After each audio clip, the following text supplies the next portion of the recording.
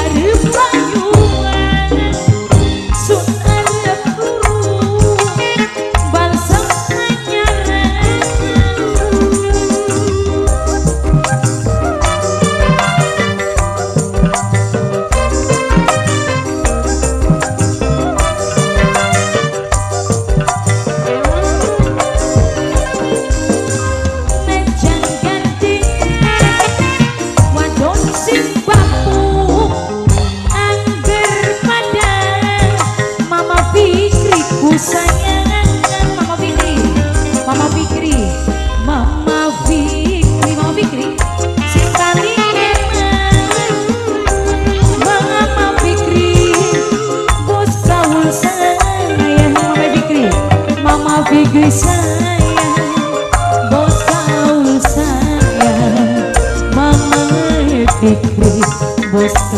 paling sayang Bos kau.